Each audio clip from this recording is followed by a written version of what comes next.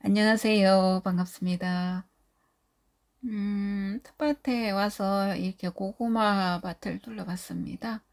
저희는 이렇게 고구마 심은 지가 지금 딱 정말 일주일, 딱 일주일 됐어요. 어, 일주일 됐는데 와서 보니까 고구마가 정말 하나도 안 죽고 다 잘 산 거 있죠. 고구마는 일단 저렇게 잎사귀가 조금 파릇해지면 다산 거예요. 그리고 고구마 이렇게 심었을 때는 쭉 쳐져 가지고 어 완전 이게 그냥 죽은 것 같거든요. 한 며칠 동안은. 그러다가 이제 뿌리가 조금 안착이 되고 그러면은 이렇게 줄기가 비스듬히 좀 살아나요. 어 그래 가지고 고구마가 이제 살기 시작하는데 고구마 제가 가서 이렇게 뿌리를 당겨 봤더니 이미 뿌리를 내린 것 같아요. 일주일 만에 그만큼 음, 뿌리를 잘 내릴 것 같더라고요. 제가 이렇게 손으로 이렇게 땅을 고구마 심은 그 고랑에 두둑을 이렇게 파봤어요. 그랬더니 보시다시피 이렇게 두둑이 촉촉하니 물이 이렇게 에, 두둑이 이렇게 촉촉하니 아직 물기가 좀 있더라고요. 제가 물 준 지가 한 4, 5일 정도 된 것 같거든요. 그런데도 이렇게 물이 어, 있더라고요. 어, 그만큼 물이 중요합니다. 고구마는 음, 많이 이렇게 땅이 이렇게 젖어 있으면은 고구마는 죽지 않아요. 어, 근데 고구마는 이제 땅이 메마르거나 가물거나 하면은 고구마는 정말 많이 죽는 게 고구마예요. 어, 그래서 보니까 다행히 죽은 거 없이 잘 살고 있었습니다. 어, 그 이유는 고구마는 심어 놓고 일주일이 가장 중요해요. 왜냐하면 그 일주일 사이에 고구마가 가장 많이 죽어요. 어, 뿌리가 안착을 안 했기 때문에 그 뿌리가 땅하고 이렇게 붕 떠 있는 그런 상태에서 어, 날씨가 덥거나 그리고 물이 없거나 그러면은 고구마는 죽어버립니다. 그래서 제일 중요한 게 제가 말씀드리고 싶은 거는 물이에요. 물. 고구마는 심고 나서 진짜 물이 중요해요. 고구마 심고 뭐 비가 온다는 보장도 없고 그렇기 때문에 고구마는 어쨌든 심어 놓고 물을 충분히 주시면 좋습니다. 어, 제가 지난번 영상에 이제 물 주는 방법을 올렸었잖아요.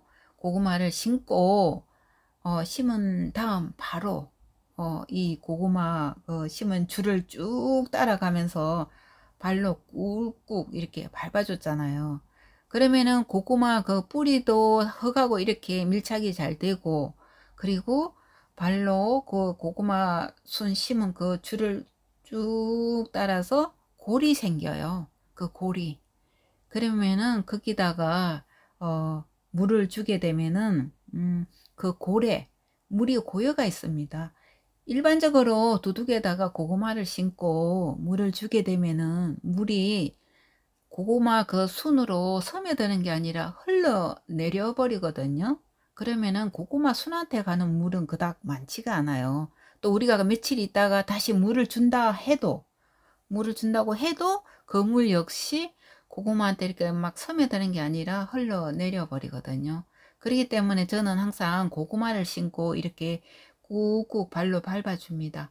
밟아줘가지고 거기다가 물을 주면은 물이 고여 있어가지고 고구마 심고 난 다음 한참까지 그 물이 이렇게 있어요. 그러면서 거기 고구마 이제 그러면서 이 고구마가 이제 물을 서서히 흡수해 가면서 이렇게 뿌리를 내리는 거거든요. 그런 식으로 해서 고구마를 심으면은 고구마 정말 100%다 삽니다. 그리고 어떤 분이 지금 비닐 위에 저렇게 고구마를 바로 심으면은 잎사귀 말라서 죽는다고 그러시더라고요. 제가 진짜 저도 한창 더울 때 그때 고구마를 심었거든요.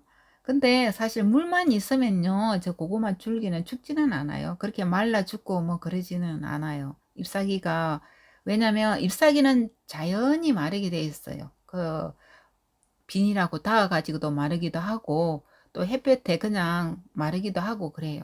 고구마는 줄기가 중요하기 때문에 어, 줄기만 살면 되거든요. 뿌리가 중요하기 때문에 그 뿌리를 항상 저는 좀 이렇게 꾹꾹 눌러주고 어, 그렇게 합니다. 어, 그렇게 해서 그런지 어쨌든 저희는 고구마 심고 나서 고구마 죽는 일은 거의 없어요. 그리고 저도 텃밭하고 집하고 거리가 있다고 그랬잖아요. 그래서 매일 올 수가 없는 그런 상황이 많거든요.